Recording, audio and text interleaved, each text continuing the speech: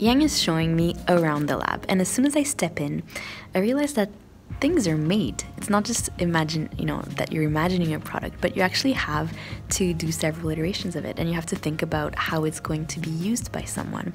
And over time these things get better and better. And so this whole technology that we're using as the human interfaces with the computer is just part of an evolution. People engineer these things.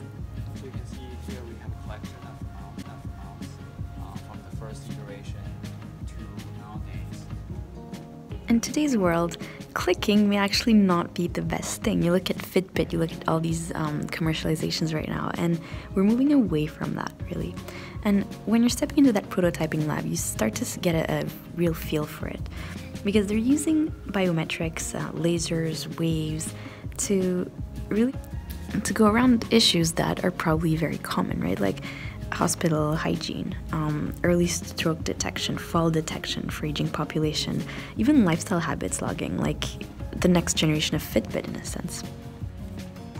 And at the same time as they're designing this, they're also thinking about all these other concerns, like if I have a sensor, how do I shield it from different elements so that it can last a really long time?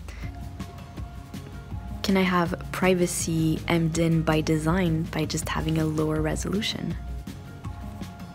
Or how can I design batteries that last a really long time?